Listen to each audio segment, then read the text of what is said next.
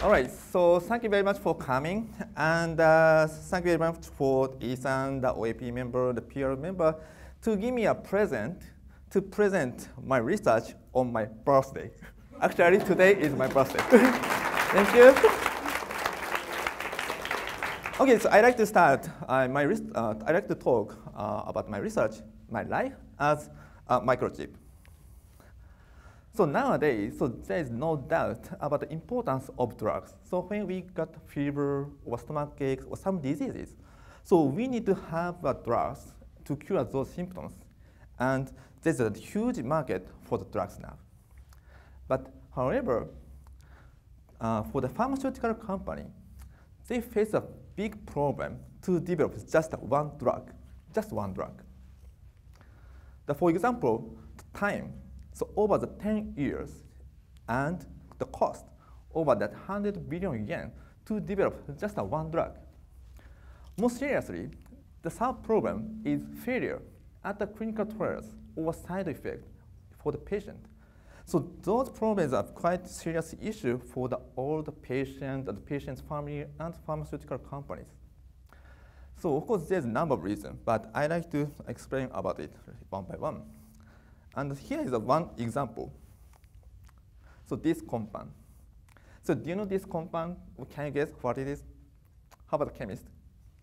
Okay, so this compound has a really long name as shown here. But this compound has the other names, like rofecoxib or Vioxx, which is the non-steroidal anti-inflammatory drugs, NSAID, or um, and uh, one of the most famous drug in the world. So I'd like to tell you about this story.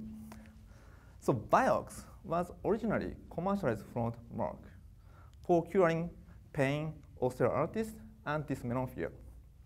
So after getting into the, uh, the market, so there's a number of reports coming up to suggest that the Vioxx caused to the heart attack and stroke with a long-term and high-dose usage.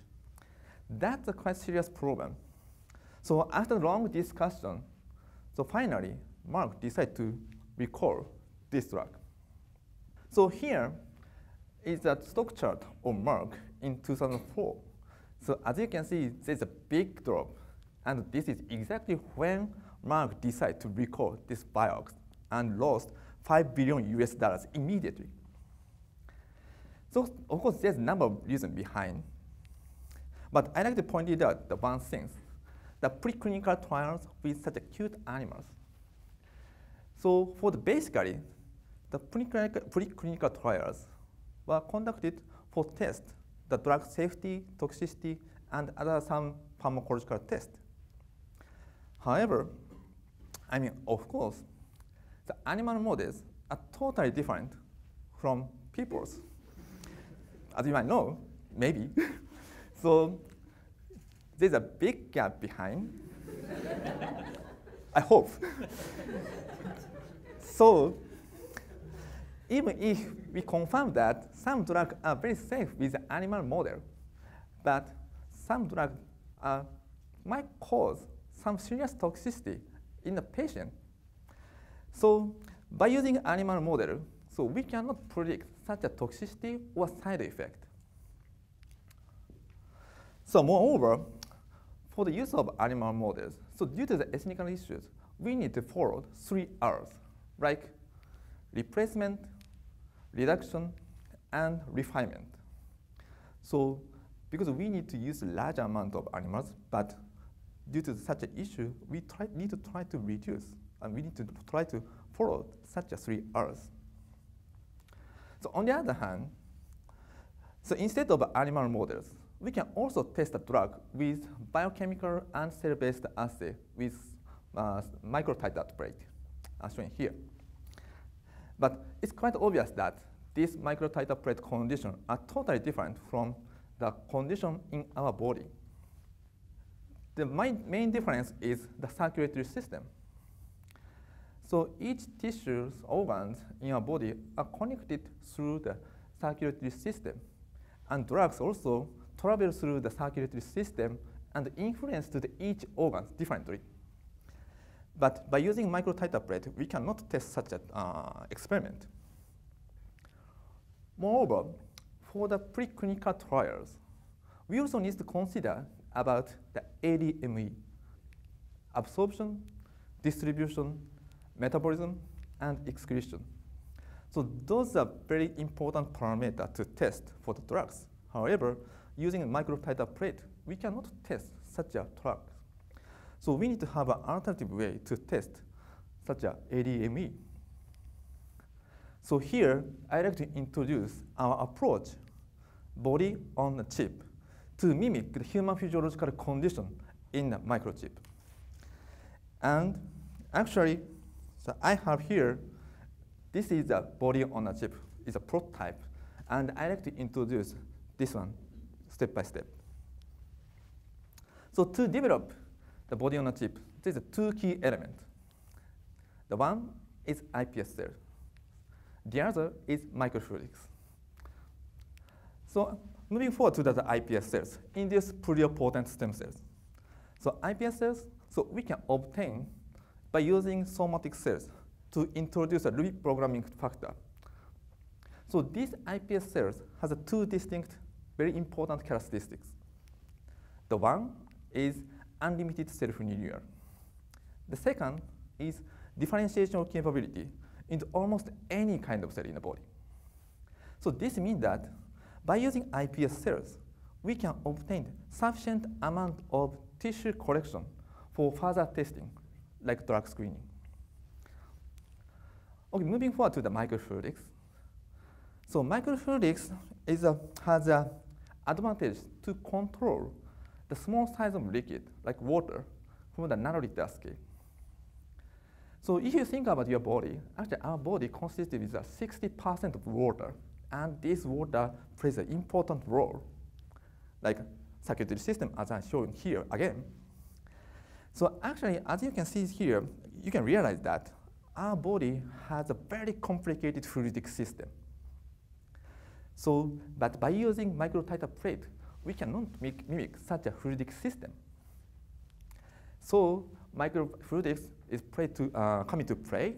So we are microengineer. So we can establish micropipe, pump, valve into the microchip and establish a very complicated fluidic system as shown here. Actually, this is my colleague established a very complicated fluidic system, like subway map in the Tokyo station. So by using this one, so we can make a circular system, will go through and stop by. So we can do many kind of complicated stuff. So we have a capability to establish the artificial circulatory system in a small device, as I shown here.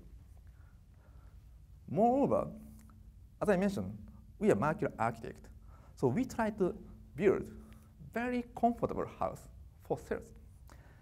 Actually, comfortability is very important for the cell. So if you think about yourself, so if you live in very uncomfortable house, and then if you cannot sleep well during the night, so you cannot work during the day. So that's a problem. And these things happen for the cell as well. So like a microtiter plate, we cannot get cell's own function. Therefore, we need to build such a comfortable house for cells. So our approach to develop such a body in a chip as follows. So we prepare the microfluidic device which has the comfortable house for the cells and circulatory system. Also, we prepare the microtissues from iPS cells as much as possible. Then introduce into the microfluidic device. Then we apply the circulatory flow with uh, drugs to test and to see so what's going on for the ADME, like absorption, distribution, metabolism, and excretion. So this is phenomenon. It's totally different from other conventional techniques. So this is our body on a chip approach. So because of the use of iPS cells, we can also establish the personalized and disease-specific body on chip. So as you might know that some drugs affecting the, uh, each patient differently. So it's a kind of the personalized difference. But the conventional method we cannot test such a difference.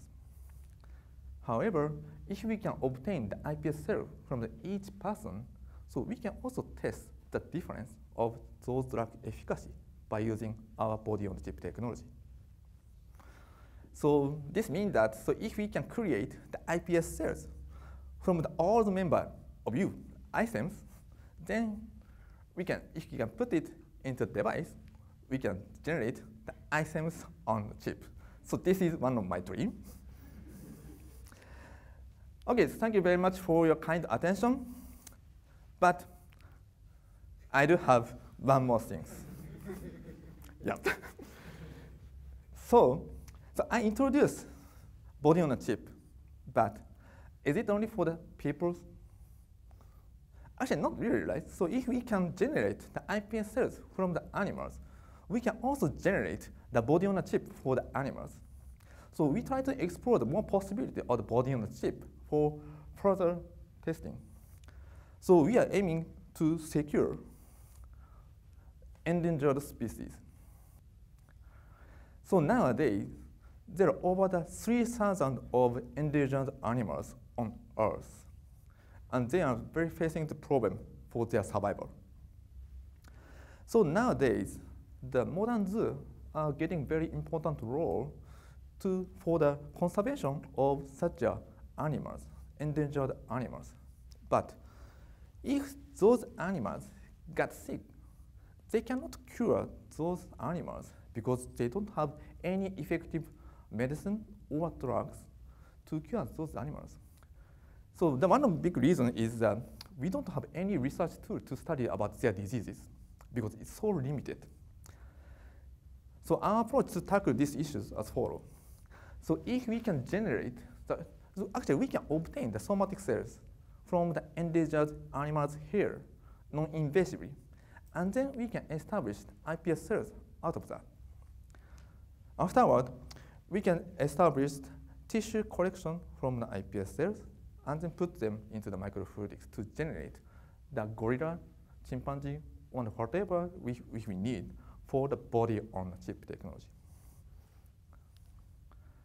So as you may realize that, so we are not aiming for, uh, we are aiming not only for the peoples, we are also aiming for wildlife conservation. Since as a member on Earth, I like to contribute for the global health care of all the animals living on Earth. Okay, thank you very much for your kind attention. Thank you very much.